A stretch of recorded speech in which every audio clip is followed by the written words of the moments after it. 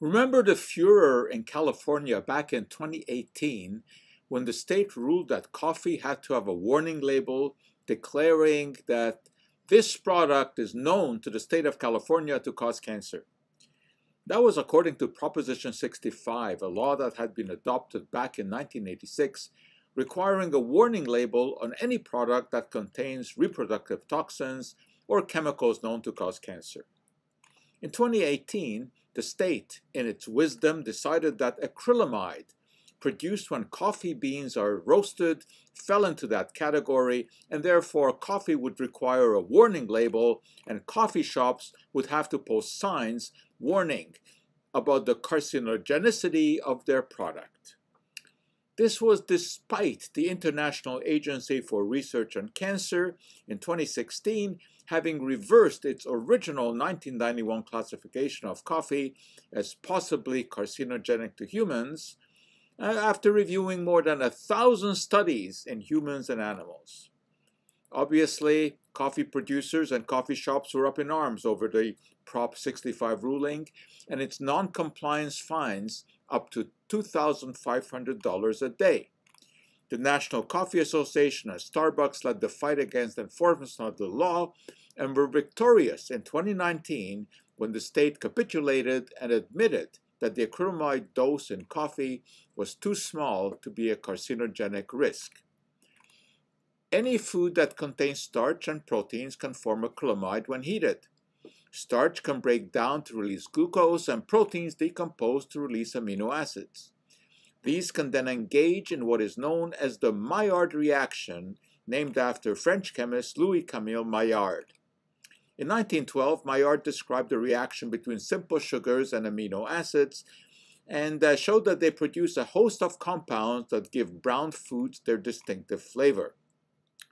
However, there's an issue with one of the amino acids, asparagine, given that it reacts with glucose to form acrylamide.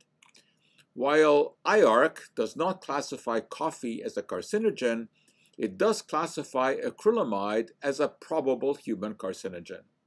This is based on feeding large doses to animals and making an educated guess about the effect of smaller doses on humans. Different agencies make different guesses about the maximum dose an adult can safely ingest every day. Some claim it to be as low as 25 micrograms of acrylamide a day. Others say that up to 195 micrograms is fine. Obviously, humans cannot be fed different amounts of acrylamide and then be monitored for decades to determine the incidence of cancer. The closest one can come are studies that follow the health status of groups of people who periodically fill out food frequency questionnaires from which acrylamide intake can be estimated. The majority of such studies have found no association with cancer. Nevertheless, it is prudent to try to minimize exposure to any substance that causes cancer in animals.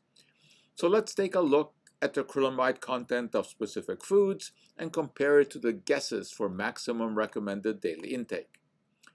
When calculations are made, taking all foods into account, an adult consumes about 30 micrograms a day, well below the average of the guesses for maximum safe amounts. Potato chips and french fries are at the high end with a serving containing about 50 micrograms. A serving of cereal has about 7 micrograms and a cup of coffee less than 3.